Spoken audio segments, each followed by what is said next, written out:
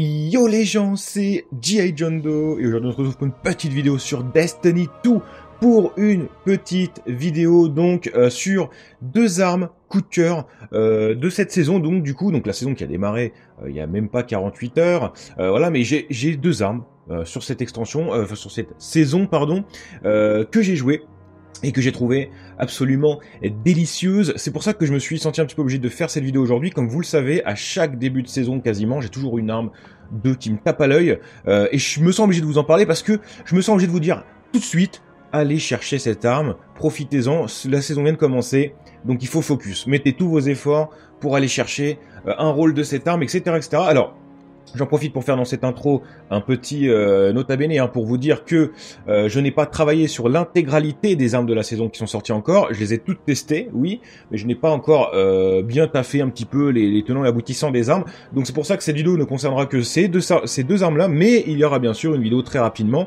sur les armes de la saison pour vous dire tous les god rolls, celles qui valent le coup, celles qui le valent moins. Mais c'est encore trop tôt pour vous dire qu'une arme vaut, vaut, ou pas le coup. selon moi, hein, je les ai pas assez testées du moins.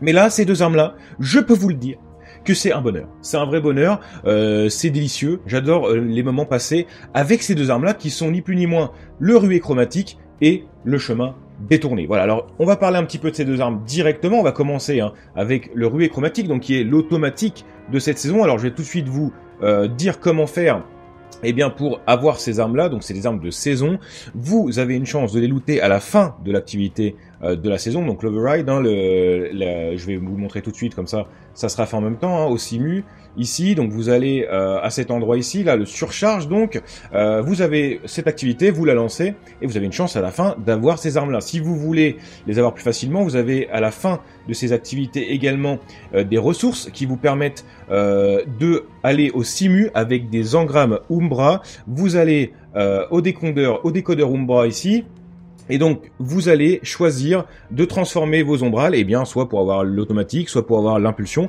ou si vous voulez moins utiliser de charge, pour avoir une arme de la saison, mais bon, là, ça sera plus vaste, donc vous aurez moins de chances de tomber dessus. Mais voilà, ce sont toutes les manières de, looter donc ces deux armes. Et donc ces deux armes qui sont absolument incroyables, hein, puisqu'on va tout de suite commencer du coup avec le rouet chromatique. Donc euh, voici à quoi il ressemble, je vous mets maintenant euh, la plage de perk que peut posséder cette arme, hein. donc vous l'avez sous les yeux à l'heure actuelle, je vais même en profiter moi-même pour l'avoir sous les yeux, ça serait plutôt pas mal, comme ça on sait de quoi on parle. Voilà, et donc, cette arme-là, euh, il y a un rôle qui est absolument incroyable, que vous avez là sous vos yeux, euh, qui est pour moi le God Roll, et qui l'est indubitablement euh, je, pense que j'en suis sûr, tu vois. Je pense que j'en suis sûr, vraiment, et je suis sûr que je pense que je suis sûr. Donc là, on est parti sur ce God Roll subsistance boucherie. Et là, vous allez me dire, subsistance, mec, tu nous as toujours répété, euh, subsistance, c'est incroyablement de, la daube, hein, tu nous l'as toujours dit, euh, ne, prenez pas ça. Eh bien, subsistance, ça a quand même eu un gros gros buff cette saison, hein, ce n'était pas jouable avant, le subsistance, je l'ai toujours dit, répété, et c'était vrai, selon moi, le subsistance a toujours été mauvais, euh, mais le subsistance a pris un très gros buff cette, ces derniers temps, hein, notamment en termes d'efficacité, et surtout que vous ne cramez plus la moitié de vos munitions en réserve en utilisant subsistance ce qui fait que c'est extrêmement intéressant, surtout sur un archétype où vous avez énormément de balles dans le chargeur, ce qui fait que vous pouvez tirer très longtemps sans recharger. Il y a même des fois où vous pouvez vraiment tuer 50 mobs. Si les mobs, bon vous êtes en patrouille évidemment, ça va très vite. Euh, si vous tuez des mobs de patrouille, vous ne rechargez jamais. D'accord? Euh, Là vous avez du gameplay sous les yeux, c'est uniquement du gameplay de saison, d'activité saison, donc les mobs sont résistants, ils résistent au tir, hein, sont, ils meurent pas en deux balles, nettement pas. Donc là, vous pouvez voir que pour un automatique grosse cadence, il envoie sacrément euh, du sel, l'enfoiré. Donc là, on est sur un subsistance, donc boucherie, vous l'aurez compris. Donc là, on est indubitablement sur un god roll, hein, puisque en première case, on peut, à part subsistance, avoir potentiellement une efficacité mortelle. Tout le reste est totalement inutile. Ici, on peut, on a un boucherie et tout le reste est totalement inutile. Je vais pas y aller par quatre chemins, tout le reste est nul. Euh, donc euh, il faut pas jouer le reste. Hein. Le boucherie sera le choix à faire ici. Vous avez vu aussi qu'il y a une autre perk euh, nouvelle perk sur, enfin il y a plusieurs nouvelles perks sur cette euh, sur cette arme cette saison. Vous avez vu que j'en parle pas encore, vous inquiétez pas, il y aura la vidéo associée. Euh, mais sur cette arme là, il y a Adrénaline Junkie. Je ne sais pas ce que c'est son nom français. Voilà, c'est accro à l'adrénaline. Donc cette arme peut l'avoir, le, le chromatique. Je n'ai pas encore testé cette perk en profondeur pour savoir son gain de DPS, etc. Donc je n'en parle pas. Mais pour moi, le boucherie est clairement au-dessus d'avance. Je vous le dis, c'est sûr et certain. selon moi, surtout sur une arme où vous avez qui tire très longtemps et qui maintient le tir. Le boucherie est fait pour marcher de cette manière, donc forcément c'est un bordel. Ici j'ai chargeur en alliage, Chargeur en alliage que j'adore sur sur cet archétype parce que bah, ça vous permet de recharger beaucoup plus vite quand le chargeur est vide sans drop mag euh, bon, Drop Max, c'est chargeur abandonné. Je sais, je crois pas qu'il l'ait. Je regarde. Euh, non, je ne le vois pas. Donc il n'y a pas chargeur abandonné sur euh, sur cette arme. Donc voilà. Donc chargeur en alliage pour moi c'est le meilleur truc. Euh, chargeur en alliage vraiment qu'il faut utiliser parce que bah, subsistance, vous tirez, vous tirez, vous tirez, vous recherchez jamais à recharger. Ça peut arriver que vous rechargiez euh, en milieu de chargeur, mais ça veut dire qu'il n'y a plus de mob devant vous, donc vous êtes safe. Si toutefois vous êtes en plein combat, subsistance vous permet de tirer sans vous arrêter, et si vous videz le chargeur, chargeur en alliage, boum, vous rechargez extrêmement vite. Donc c'est très intéressant. Ici, alliage, pardon, intégral qui est exceptionnel aussi pour un automatique puisqu'il augmente très fortement euh, la portée au coût de la stabilité ici. Mais bon, la stab, ce n'est pas grave. Hein, le, fusil, euh, ce fusil auto se tient très bien puisque c'est une forte cadence, donc ça va. Et ici, par contre, je n'ai pas eu de chance puisque voilà, à chaque fois que j'ai un god roll, à chaque fois que j'ai un god roll de saison et que je suis très content et que je suis en mode oh là là, c'est parfait partout. Eh bien non, ce n'est pas parfait partout puisque j'ai la pire pièce maîtresse. Encore une fois, le maniement c'est vraiment la pire pièce maîtresse à avoir, c'est un bordel. Là, c'est selon vos goûts encore une fois. Euh, la portée est extrêmement bien sur un auto forcément. Euh, la stab, pourquoi pas si ça vous chante, euh, et le rechargement peuvent être trois excellentes masterwork, mais le maniement c'était le pire et je suis évidemment tombé dessus comme à chaque fois que je tombe sur un god roll, c'est un maniement que me fout avec, histoire de me foutre dans le décor. Et ici, chemin détourné, donc ici que j'ai eu en Godrule, selon moi, là il y a plusieurs par contre variantes, autant l'automatique c'est Godrule c'est sûr, autant on va voir ensemble que l'impulsion, il y a peut-être plus moyen, plus moyen de, euh, bah, de faire un petit peu sa popote à soi, mais pour moi, ça, c'est le God Roll. Et ce qui est marrant avec ce God Roll, c'est que je l'ai Masterwork sans savoir quelle peur qu'il pouvait avoir. Ça, c'est le deuxième que j'ai eu.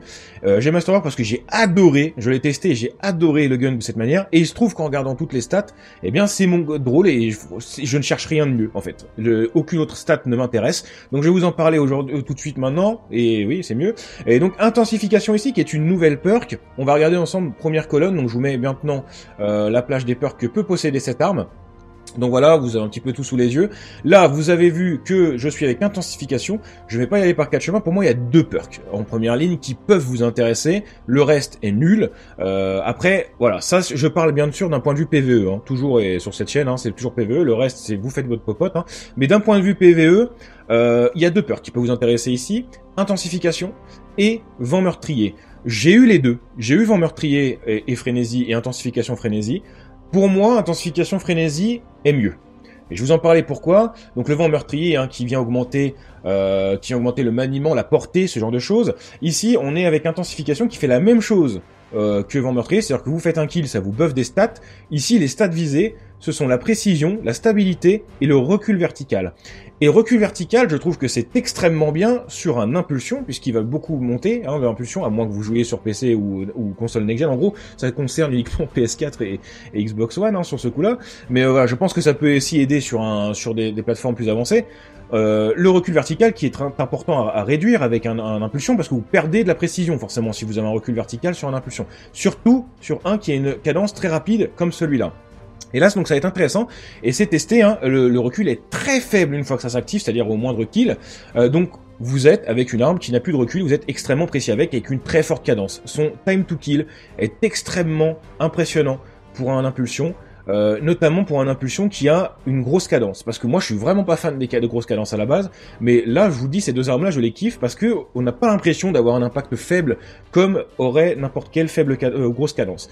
Et là, c'est extrêmement intéressant. Donc là, on est sur une stabilité augmentée, on l'a dit, augmentation de précision et recul vertical réduit, ce qui est pour moi très important.